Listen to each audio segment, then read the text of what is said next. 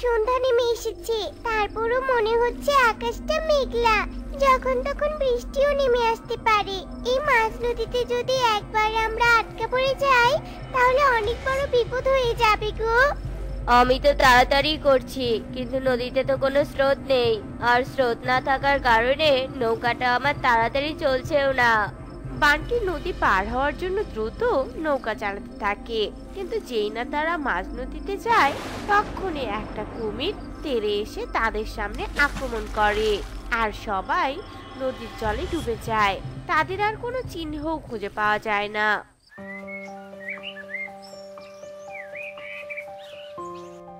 সন্ধ্যায় যে বান্টি আর সখী বেরিয়েছে, তারা তো আর ফিরে এলো না। তাদের কোনো খোঁজ খবরও পেলাম না। কিছুই তো বুঝতে পারছি না। আসলে কি যে হচ্ছে এই জঙ্গলে? কিছুই বুঝতে পারছি না। তোমরা সবাই আমার ছেলের জন্য আশীর্বাদ করো। ও পড়াশোনার জন্য নদীর ওপারে শহরে যাচ্ছে। আচ্ছা ঠিক আছে। আমরা তোর ছেলেকে প্রাণ খুলে আশীর্বাদ করি। তোর ছেলে পড়াশোনা করে অনেক বড় হবে। আমাদের জঙ্গলের মুখ উজ্জ্বল করবে। যাই এবার ছেলেকে এগিয়ে দিয়ে আয়। আচ্ছা ঠিক আছে। চল বাবা। এরপর কাকুলি তার ছেলেকে নিয়ে নদীর পাড়ে যায়। আর ছেলেকে নৌকায় তুলে দিয়ে সে অঝরে কান্না করতে থাকে। এইদিকে ছেলে মা মা তুমি আর কেঁদো না মা। তুমি যদি এভাবে কান্না করো তাহলে আমি কি শান্তিতে থাকতে পারব বলো? না না রে বাবা আমি আর কাঁদবো না। তুই আনন্দের সাথে যা বাবা। কনকার কথা না বাড়িয়ে মাঝিকে নৌকা চালাতে বলে। মাঝিও কনকের কথা মতো নৌকা চালাতে থাকে। যেই না তারা মাঝ নদীতে যায়, তখনই কুমির চলে আসে। মাঝি ভাই মাঝি ভাই মাঝি ভাই, দ্রুত নৌকা চালাও মাঝি ভাই। কুমিরটা আমাদের দিকেই তেড়ে আসছে মাঝি ভাই। কনকের কথা শেষ হতে না হতে কুমির এসে তাদের আক্রমণ করে। কনক সহ মাঝিও জলে ডুবে যায়। নিমিষের মধ্যে পুরো জঙ্গলে বিষয়টি জানাজানি হয়ে যায়। এখন অভিশাপ নেমে এলো আমাদের জঙ্গলে। এভাবে যদি একের পর এক পাখি মারা যায়, তাহলে তো আমাদের জঙ্গল পুরো পাখি শূন্য হয়ে যাবে। শুধু কি পাখি শূন্য? এখান থেকে তো আমরা আর বাণিজ্য করতেও পারব না। সব পাখিরা মহা বিপদে পড়ে যায়। এরপর থেকে কেউই সেই নদীতে যায় না। আর এভাবে অন্য জঙ্গলের সাথে বাণিজ্য করতে না পারার কারণে জঙ্গলে অনেক খাবারের অভাব দেখা দেয়। এভাবে অনাহারে আমি আর কিছুতেই থাকতে পারছি না। মনে হচ্ছে জীবনটা এখনই বেরিয়ে যাবে। কুকুর কষ্টে মাটিতে লুটিয়ে পড়ে। এমন সময় সেখানে দুটো মানুষ এসে উপস্থিত হয়। ছোট্ট পাখিরা, কি হয়েছে তোমাদের? তোমরা এমন নেতিয়ে পড়েছো কেন? এত কষ্ট করছ তোমরা? পরেশ, চল তো, আমরা এই পাখিগুলোর জন্য খাবারের ব্যবস্থা করি, আর একটু দেরি হলেই এরা অনাহারে মারা যাবে। আমি সেটা কিছুতেই হতে দিব না। নরেশের কথা শুনে পরেশ আর কোনো দেরি করে না। এরপর দুজনে মিলে নিজেদের গ্রামে ফিরে যায় আর পাখিদের জন্য খাবার নিয়ে জঙ্গলে ফিরে আসে।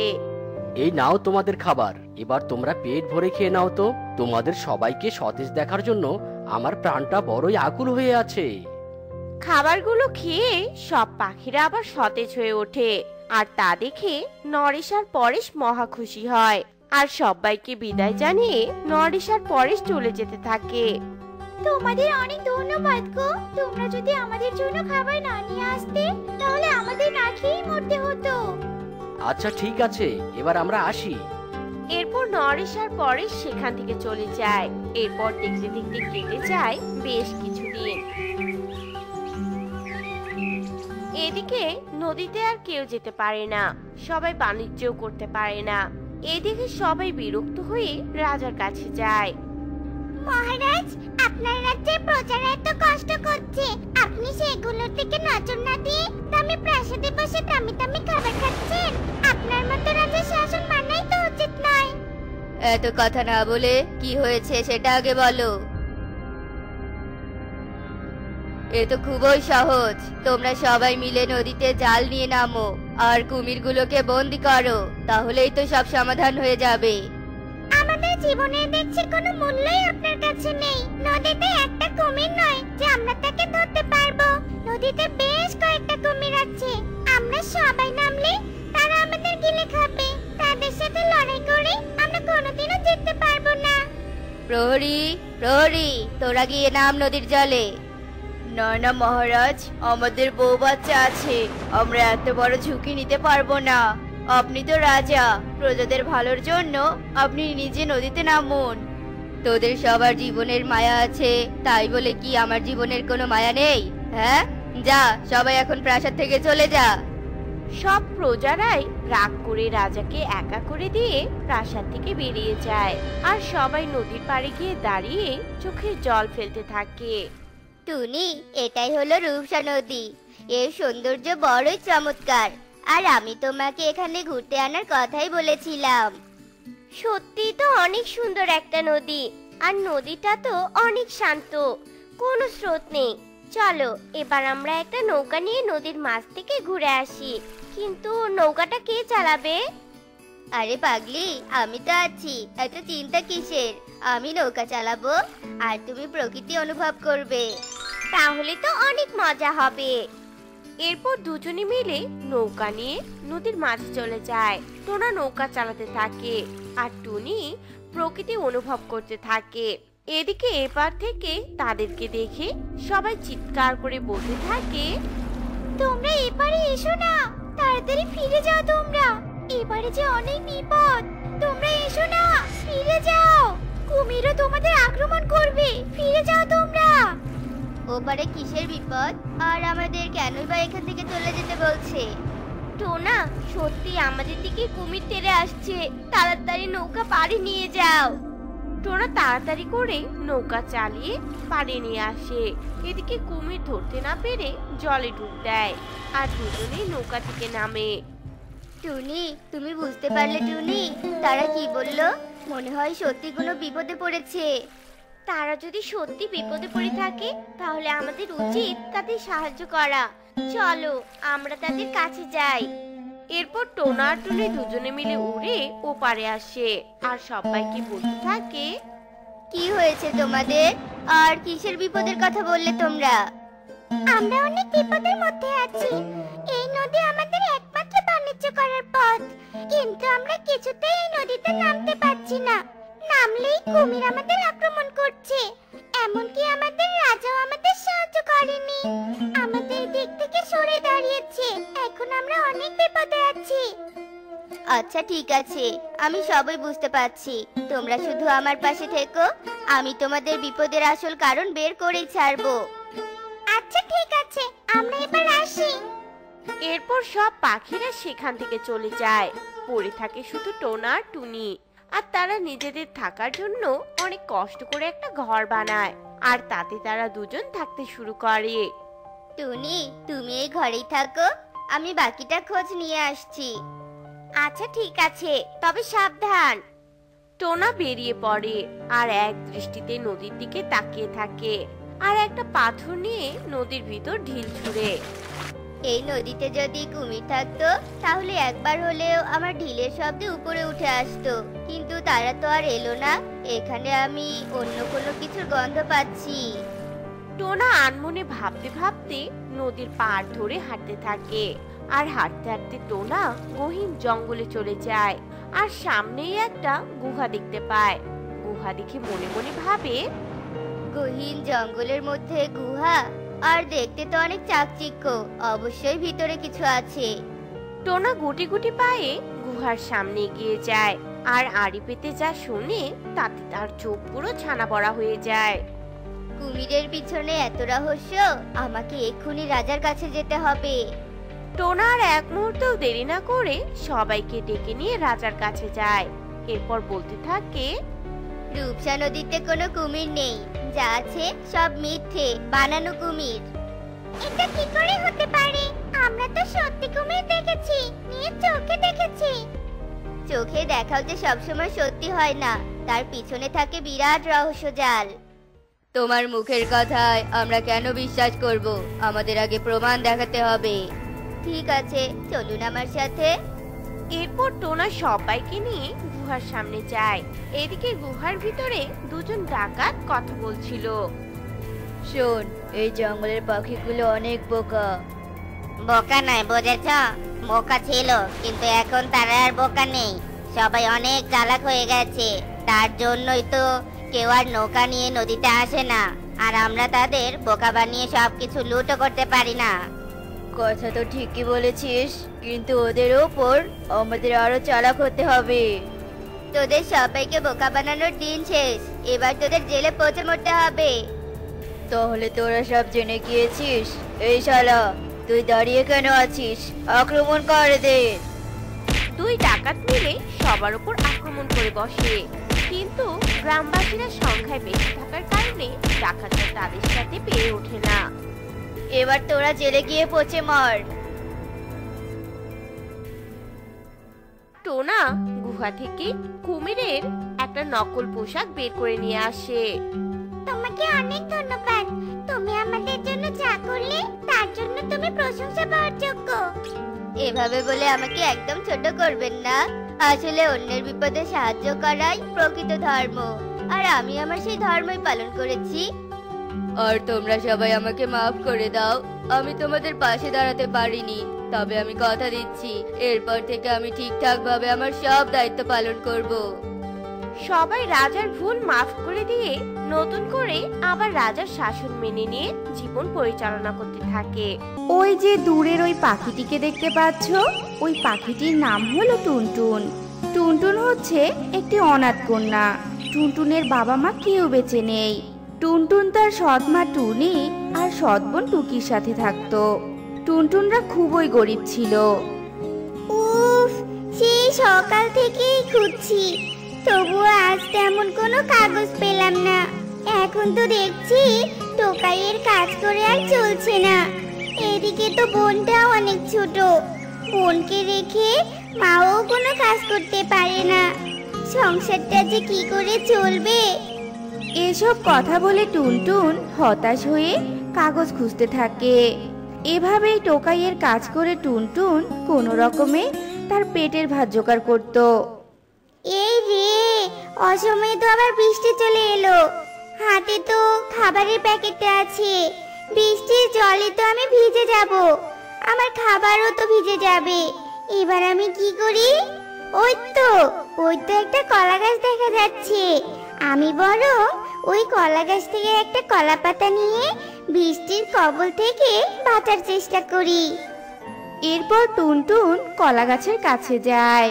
আর একটা কলা পাতা নিয়ে মাথায় দিয়ে টুনটুন তার বাড়ির দিকে যেতে থাকে। আর টুনটুন বাড়িতে গিয়ে দেখে টুনি টুকিকে নিয়ে ভাঙা ঘরে বেশ কষ্ট করে বসে আছে। তুই ফিরেছিস মা?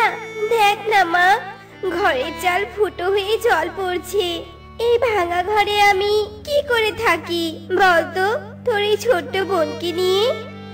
মা ঘরটা যে খুবই পুরনো হয়ে গেছে মা। জল তো পড়বেই।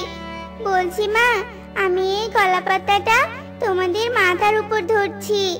তুমি বোনকে নিয়ে খাবারটুকু খেয়ে নাও মা। পরে ঘরের জল পড়া বন্ধ করার ব্যবস্থা করছি আমি। এরপর টুনটুন কলা পাতাটা টুনি আর টুকি মাথার উপর ধরে আর টুনি টুকিকে নিয়ে খাবার খায়। তারপর তিন মামে মিলে সেই কলাপাতার নিচেই সেই রাতটা কাটিয়ে দেয়। এভাবেই অনেক কষ্ট করে টুনটুনদের দিন যাচ্ছিল।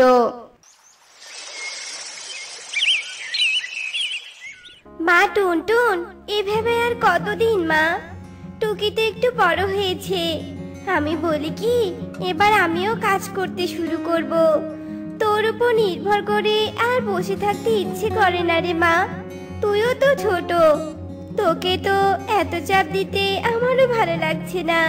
তাই ভাবছি আমি একটা কাজ শুরু করবই করব রে মা। এইসব তুমি কি বলছো মা? আমার মোটেও চাপ হচ্ছে না। আর তুমি কি ভুলে গেছো? কদিন আগে তুমি বোনকে রেখে বাজারে গিয়েছিলে মাত্র? তাতে ওই শয়তান ইগল বোনের উপর আক্রমণ করেছিল। তাই তো আমি তোমার এক্ষুনি কাজে যেতে দিব না, মা। আমি কাজ করব। কারণ আমি তো আর তোমার মতো করে বোনকে আগলে রাখতে পারব না, তাই।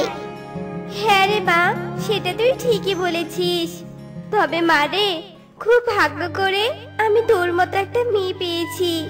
এতদিন শুনেছি, সৎ মেয়েরা অনেক খারাপ হয়, মায়ের সাথে খুব বাজে ব্যবহার করে। কিন্তু তোকে দেখে আমার সেই ধারণাটা বদলে গেছে রে মা। এভাবে বলো না মা, আমার বাবা মা এখন কেউ বেঁচে নেই। আমি তো অনাথ কন্যা। বাবা মারা যাওয়ার আগে তোমায় এই বাসায় এনেছিল বলেই তো আজ আমি তোমার মা বলে ডাকতে পারছি। তুমি সৎ মা হও আর যাই হও, তুমি তো আমার মা, তাই না? আর একটা কথা, আমি আর টোকাইয়ের কাজ করব না মা। তোমাদের দায়িত্ব নেয়ার জন্য দরকার পড়লে আমি ঝিয়ের কাজ খুঁজে নিব। টুনটুনের এসব কথা শুনে টুনির চোখে জল চলে আসে আর টুনি টুনটুনকে জড়িয়ে ধরে। টুনি টুনটুনের সৎমা হলেও টুনি টুনটুনকে খুব ভালোবাসতো। এরপর টুনটুন বাইরে চলে যায় আর কাজ খুঁজতে থাকে। আর অনেক খোঁজাখুঁজির পর টুনটুন কাকুলি কাকের বাসায় একটা ঝিয়ের কাজ পায়। শোন, তোকে তো কাজ দিলাম। কিন্তু কাজে গাফিলতি করতে পারবি না কিন্তু। তবে কিন্তু তোকে ঘাট ধাক্কা দিয়ে আমি এই বাসা থেকে তাড়িয়ে দিব। আরেকটা কথা শোন, এ বাসায় তোর প্রধান কাজ হলো আমার মেয়ে কুহুর সাথে সাথে থাকা। শোন, আমার মেয়ে কুহু কিন্তু জঙ্গলের বিখ্যাত মডেল। আমার মেয়ে কিন্তু সব সময় রূপচর্চাতে ব্যস্ত থাকে। তুই সব সময় ওর জিনিসপত্র এগিয়ে দিবি, বুঝতে পেরেছিস? ঠিক আছে মালকিন আপনি যেমনটা বলবেন, আমি সেভাবেই কাজ করব। আমি সব সময় দিদিমণির সাথে সাথেই থাকব মালকিন হ্যাঁ মনে থাকে যেন। তবে আজ থেকেই কাজে লেগে পড়, বুঝতে পেরেছিস? আর ওই যে, ওইদিকে কুহুর ঘর। ওখানে গিয়ে দেখ, কুহুর কিছু লাগে কিনা। এরপর টুনটুন কুহুর ঘরে যায়। আর টুনটুনের নোংরা শরীর দেখে কুহু ভীষণ রেগে যায়। এই তুই কে? আর তুই এমন নোংরা শরীর নিয়ে আমার ঘরে এসেছিস কেন হ্যাঁ? দিদিমণি আমার নাম টুনটুন। আমি এ বাসায় নতুন কাজ নিয়েছি। আর মালকিন আমাকে তোমার ঘরে পাঠালো দিদিমণি তোমার জিনিসপত্র এগিয়ে দেওয়ার জন্য। ও কিন্তু তুই এই নোংরা শরীরে আর এখানে আসবি না। আর আমার জিনিসপত্র ধরার আগে নিজেকে পরিষ্কার করে আয় যা। নয়তো তোর এই শরীরের ময়লাগুলো আমার জিনিসপত্রে লেগে যাবে। যা যা। ছি ছি। কি নোংরা তুই। কুহুর কথা মতো টুনটুন গিয়ে নিজেকে পরিষ্কার করে নেয় আর কুহুর সাজসজ্জার জিনিসগুলো এগিয়ে দেয়। আর এভাবেই কুহুর ফাই ফরমাস খেটে টুনটুন আয় করতে থাকে। এরপর থেকে টুনি আর টুকিকে নিয়ে টুনটুন বেশ ভালোভাবেই দিন কাটাতে শুরু করে। সর্বনাশ হয়ে গেছে মা। আজ আমার একটা অনেক বড় ফ্যাশন শো আছে। আর মা, জানো, আজকে আমার মেকআপ আর্টিস্ট একদম অসুস্থ হয়ে গেছে। এবার আমাকে মেকআপ করিয়ে কে দিবে, মা? আর মেকআপ ছাড়া আমি ফ্যাশন শোতে যাব কি করে, বলো তো? কি বলছিস তুই এসব? তুই যদি ফ্যাশন শোতে না যাস, তবে তো সর্বনাশ হয়ে যাবে রে মা। এখন এই অল্প সময়ে আমি মেকআপ আর্টিস্ট কোথায় পাবো বলতো? মালকিন, আপনি যদি হুকুম দেন, তবে আমি দিদিমণিকে মেকআপ করিয়ে দিতে পারি। আসলে এতদিন থেকে দিদিমণির মেকআপ করা দেখে আমি সবটা শিখে গেছি। আমি পারব মেকআপ করিয়ে দিতে। দিব দিদিমণি। কি? কি বললি তুই? তুই আমায় মেকআপ করিয়ে দিবি? তুই জানিস, এই জঙ্গলের নাম করা মেকআপ আর্টিস্ট আমাকে মেকআপ করিয়ে দেয়। আর তুই কোন ছাড়? ও নাকি আমাকে মেকআপ করিয়ে দিবে? রেগে যাচ্ছিস কেন রে মা? ও তো এতদিন তোর সাথে থেকে তোর মেকআপ করা দেখেছে। একবার তো ওকে ভরসা করাই যেতে পারে, তাই না? তাছাড়া এই মুহূর্তে আর কেই বা তোকে মেকআপ করিয়ে দিবে বল তো কাকুলির এমন কথায় কুহু আর কিচ্ছু বলতে পারে না। আর টুনটুন কুহুকে অনেক সুন্দর করে মেকআপ করিয়ে দেয়। আর সেই মেকআপ নিয়েই কুহু ফ্যাশন শোতে প্রথম হয়। সত্যি রে টুনটুন, তোর মেকআপের জবাব হয় না। তোর করিয়ে দেওয়া মেকআপের কারণেই আমি আজ প্রথম হয়েছি, জানিস? সব বিচারকরাই আমার মেকআপের প্রশংসা করেছে। তাই টাকাগুলো তোকে আমি বকশিস দিলাম, টুনটুন। নে, এগুলো তুই নে। এরপর টুনটুন বকশিসের টাকা নিয়ে বাসায় ফিরে যায়। আর টুনিকে সব কথা খুলে বলে। আর টাকাগুলো টুনির হাতে তুলে দেয়। আর এতে টুনি ভীষণ খুশি হয়। এরপর কয়েকদিন কেটে যায়।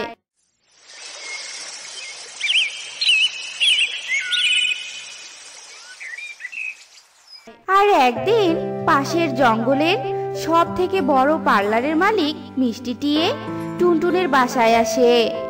টুনটুন, সেদিনের ফ্যাশন শোতে তুমি নাকি কুহুকে মেকআপ করিয়ে দিয়েছিলে? আর সে কথা জেনেই আমি এখানে এসেছি। তোমার মেকআপ করানো দেখে আমি একদম মুগ্ধ হয়ে গিয়েছি তাই আমি তোমায় আমার পার্লারে চাকরি দিতে চাই।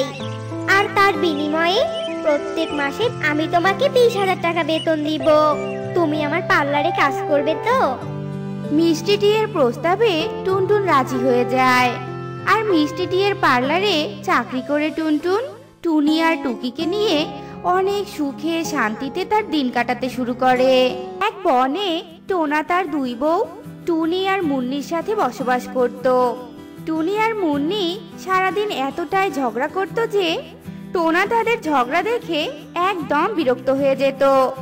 একদিন কি রে মুন্নি, তুই সারাদিন বাড়ি কোনো কাজ করিস না কেন? আমাকে একটু বল তো।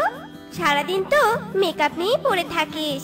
যতই আটা ময়দা মাখ না কেন, তবুও তুই আমার মতো সুন্দরী হতে পারবি না।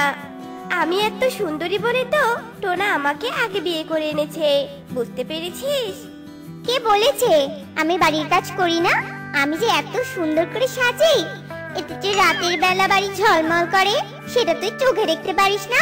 ওটা বুঝি কাজ নয়? তোর সৌন্দর্যে টোনা সন্তুষ্ট নয় বলেই তো আমার মতো অপরূপাকে বিয়ে করেছে।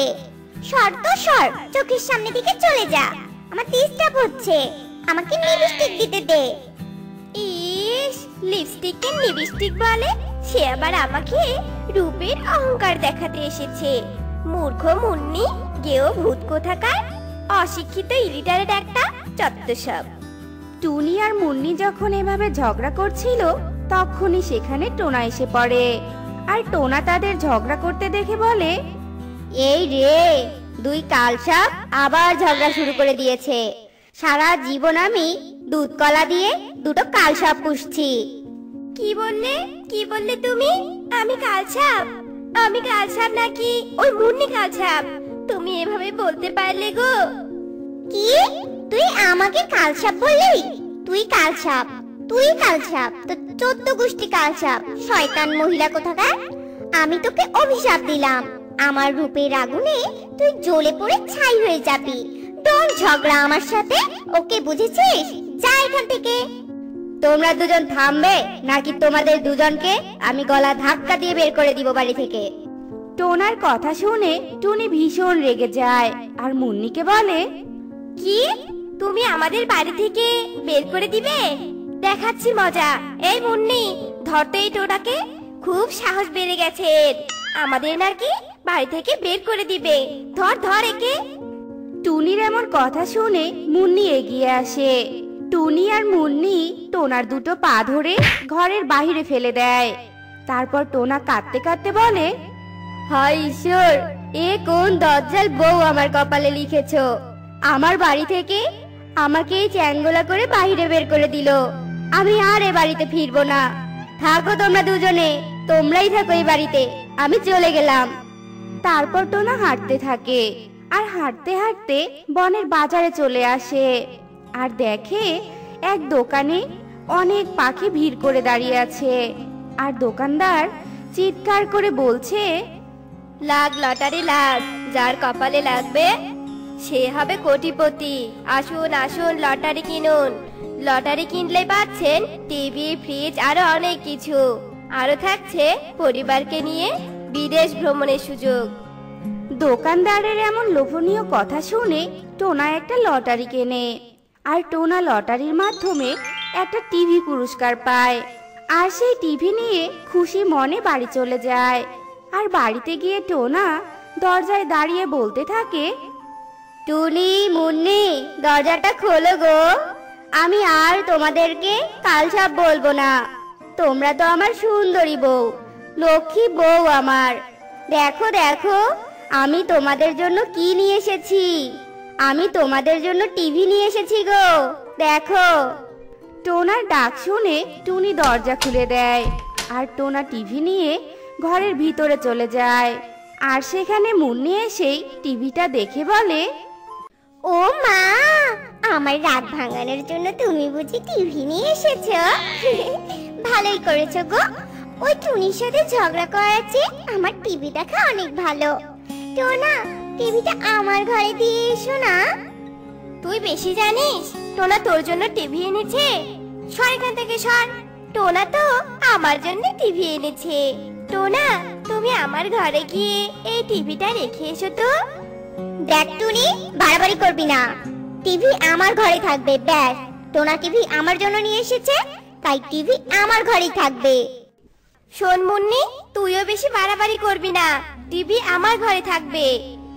এ কথা বলে টুনি আর মুন্নি টিভি ধরে দুইজনেই টানাটানি করতে থাকে। আর তা দেখে টোনা রেগে গিয়ে বলে, আরে আরে, হচ্ছেটা কি? টিভিটা তো ভেঙে যাবে।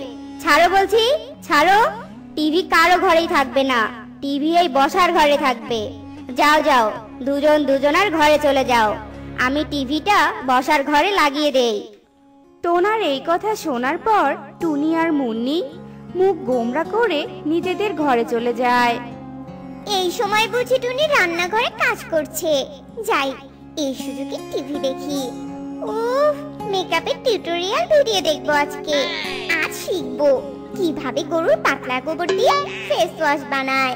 তারপর আমিও মুখে গরুর পাতলা গোবর দিয়ে ফেস ওয়াশ বানিয়ে মুখে দিব। আর এই বনে সব থেকে সুন্দরী পাখি হয়ে যাব। আমার রূপের ঝলমলে আলোতে জঙ্গল জলজল করবে। এ কথা বলে মুন্নি টিভি দেখতে চলে যায়। আর এদিকে টুনি রান্নাঘরে কাজ করতে করতে বলে মুন্নি বুঝি এখন ঘুমিয়েছে। যাই টিভি দেখতে যাই। আজ রান্নার চ্যানেলে দারুণ রেসিপি দেখাবে। কীভাবে মূলা দিয়ে পরোটা বানানো যায় রেসিপিটা আমাকে শিখতেই হবে। টোনাকে আমি বানিয়ে বানিয়ে খাব। টোনা তাহলে আমাকে মুন্নির থেকে বেশি ভালোবাসবে। হ্যাঁ হ্যাঁ যাই যাই। এ কথা বলে টুনি টিভি দেখতে টিভির ঘরে যায় আর গিয়ে দেখে মুন্নি আগে থেকে সেখানে বসে টিভি দেখছে। মুন্নিকে দেখে টুনি বলে এই রে হলো আমার টিভি দেখা। এই মুখপুরি তো আমার আগে এসে টিভি দেখতে বসে গেছে। এই মুন্নি দে তো রিমোটটা আমাকে দিয়ে দে। তুই কি রিমোট চাপতে পারিস নাকি হ্যাঁ? তুই তো ওয়ান টু গুনতেই পারিস না। আর তুই রিমোট নিয়ে বসে আছিস? দে, আমি এখন রান্নার চ্যানেল দেখব। রিমোটটা আমাকে দে বলছি। কত ওয়ান টু শিখে আমার কাজ নেই। মেকআপের চ্যানেল দেখতে পেলেই হলো। আজ বনের মধ্যে ঘূর্ণিঝড় বয়ে গেলেও আমি টিভি রিমোট কাউকে দিব না। আজ আমি এই রিমোটের জন্য নিজের জীবন দিয়ে দিব। তবু চ্যানেল পাল্টাতে দিব না। তুই যদি রিমোট নিতে চাস তবে আমার সাথে লড়াই কর। মোটা, অসুন্দর টুনি কোথাকার? কি? তুই আমাকে মোটা বললি? ভালোই ভালোই বলছি। আমাকে রিমোট দে। আমি টিভি দেখব। দে বলছি, রিমোট দে। আমি টিভি দেখতে না পারলে আজ কিন্তু বাড়িতে ঘূর্ণিঝড়, সুনামি, টর্নেডো সব তুলে দিব। You understand Munni? I know you better understand. এই বলে দিলাম। অত ইংরেজিতে ফটো ফটোর করতে আসবি না বুঝলি? আমিও ইংরেজি জানি আমিও আজ টিভি কাউকে দেখতে দিব না। যতই তুই যা ইচ্ছে করে নে টিভি আজ আমি একাই দেখব। মুন্নি আর টুনি যখন এভাবে ঝগড়া করছিল তখনই সেখানে টোনা চলে আসে। আর তাদের ঝগড়া দেখে বলে আরে আরে তোমরা করছোটা কি? থামো বলছি থামো। তোমাদের কি আর কোনো কাজ নেই? সারা দিন শুধু ডাইনিগুলোর মতো একে আরেকজনকে কামড়া কামড়ি করো। টিভি বন্ধ করো বলছি। এক্ষুনি টিভি বন্ধ করো। তা না হলে কিন্তু দুটোকেই আমি ঘাড় ধাক্কা দিয়ে এ বাড়ি থেকে বের করে দিব। টোনার কথা শুনে মুন্নি টিভি বন্ধ করে দেয়। আর টিভি বন্ধ করে দেওয়ার পর মুন্নি আর টুনি সেখান থেকে চলে যায়। আর টোনাও সেখান থেকে চলে যায়। এভাবেই মুন্নি আর টুনির টিভি নিয়ে ঝগড়া করে তাদের দিন কাটতে থাকে। এই টোনা আর টুনির জন্য তো টিভি আমি দেখতেই পাই না। আজ সবাই ব্যস্ত তাই আজ আমি আগে গিয়ে টিভি চালু করে দেই। এ কথা বলে মুন্নি টিভি চালু করতে যায় আর টিভির লাইনটা সুইচে ঢোকাতে মুন্নি কারেন্ট শক খেয়ে যায় আর টিভির সুইচ ধরে কাঁপতে থাকে। কিছুক্ষণ পর টুনি টিভি দেখতে আসলে মুন্নিকে অমন ভাবে কাঁপতে দেখে বলে বাবা টিভি দেখার খুশিতে নাচা হচ্ছে বুঝি? এই মুন্নি তোর কি টিভি দেখা ছাড়া আর কোনো কাজ নেই হ্যাঁ? তুই এমন কোন খুশিতে নাচছিস রে? এ কথা বলে টুনিও মুন্নিকে ছুঁয়ে দেয়। আর টুনি মুন্নিকে ছোঁয়ার সাথে সাথেই টুনিও কারেন্ট শক খায় আর মুন্নির মতোই কাঁপতে থাকে। কিছুক্ষণ পর টোনা সেখানে আসে। আর তাদের দুজনকে কাঁপতে দেখে বলে আহা কি সুন্দর দৃশ্য। এতদিন পর বুঝি আমার ঘরে শান্তি ফিরে এলো। দুই সতীন মিলেমিশে কি সুন্দর একসাথে নাচছে। যাই আমিও একটু ওদের সাথে নাচানাচি করি। এ কথা বলে যেই না টোনা টুনিকে স্পর্শ করে তখনই টোনাও কারেন্ট শক খেয়ে যায় আর টোনা ওদের সাথে কাঁপতে থাকে। এদিকে টোনার বাড়িতে যজ্ঞু কাক টোনার খোঁজ করতে আসে। আর অনেক ডাকাডাকির পরেও কোনো সাড়া না পেয়ে যজ্ঞু কাক ঘরে ঢোকে আর এই দৃশ্য দেখে বলে একই একই এরা ভেবে কাঁপছে কেন? নিশ্চয় এরা কারেন্ট শক খেয়েছে। এক্ষুনি আমাকে কিছু একটা করতে হবে। এ কথা বলে যজ্ঞ কাক বাইরে থেকে একটা শুকনো লাঠি আনে আর তাদের ধরা সুইচটাকে ফেলে দেয়। আর তারা তিনজনই বিদ্যুৎ স্পর্শ থেকে মুক্ত হয়। কিছুক্ষণ পর তাদের জ্ঞান ফিরে আসে। তারপর টোনা যজ্ঞ কাককে বলে যজ্ঞ দাদা তুমি না আসলে আজ যে আমাদের কি হতো? আমরা তো বোধহয় মরেই যেতাম। আমি আর টিভি দেখব না বাবা। আজ এই টিভি দেখার জন্য আর একটু হলে আমার জীবনটাই চলে যেত। অতিরিক্ত কোনো কিছু ভালো নয়। আমি আর টিভি দেখব না। বাবা আর একটু হলে মরেই যেতাম। আসলে টিভির কোনো দোষ নেই। তোমরা এত বারবার টিভির সুইচ দিয়েছ যে টিভির সুইচ নষ্ট হয়ে গেছে। অতিরিক্ত ইলেকট্রনিক জিনিস ব্যবহার করা উচিত নয়। এতে আমাদের বিপদ হতে পারে। যজ্ঞ কাকের কথা শুনে তারা সবাই নিজেদের ভুল বুঝতে পারে। তারপর থেকে মুন্নি আর টুনি টিভি নিয়ে আর কখনোই ঝগড়া করেনি। আর অতিরিক্ত টিভিও দেখতো না। তো বন্ধুরা আজ আমাদের গল্পটি তোমাদের কাছে কেমন লেগেছে তা কমেন্টে জানাতে ভুলো না কিন্তু।